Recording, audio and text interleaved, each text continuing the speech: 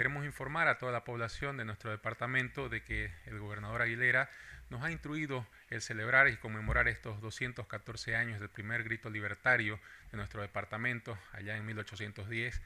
este, que eh, conmemoremos estos actos, esta celebración con actos importantes como son la isa de la bandera, la ofrenda floral, el Tedeum característico que en esta fecha celebramos. Esto para que eh, atendamos a todas las instituciones, las recibamos con los brazos abiertos como gobierno departamental, vamos a hacer estas celebraciones y también informar a la población que debido a la situación sensible por la que estamos pasando, por los incendios forestales, por nuestras provincias afectadas. También sabemos que el Comité Cívico Provincial ha emitido un pronunciamiento donde ellos instan a que no se realicen estos desfiles cívicos tradicionales con los desfiles cívico-militares que estamos acostumbrados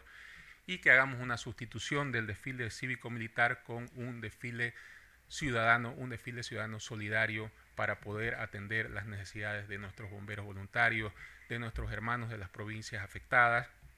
y de esta manera recibamos la solidaridad del pueblo cruceño que permanentemente viene apoyando esta, este desastre departamental que venimos atravesando. Desde la gobernación continuaremos con estos esfuerzos, recibiendo la ayuda solidaria de las instituciones, todas aquellas instituciones que han sido invitadas al desfile cívico-militar. Les instamos para que este desfile ciudadano solidario pueda eh, recibir estas donaciones, estos aportes de las instituciones, de los miembros que las integran, para que por la Casa de Gobierno, donde se va a instalar eh, un toldo, donde se va a recibir con toda la eh, legalidad correspondiente, se van a hacer las actas de recepción para que todas sus donaciones lleguen a los destinatarios finales. Vamos a tener todo el personal desplazado. Los primeros en llevar estas donaciones van a ser nuestros funcionarios que han empezado durante este tiempo a apoyar con sus donativos a nuestros bomberos voluntarios, a nuestras personas afectadas en las provincias. Estos donativos van a ser recibidos ahí en Casa de Gobierno y también de las instituciones que puedan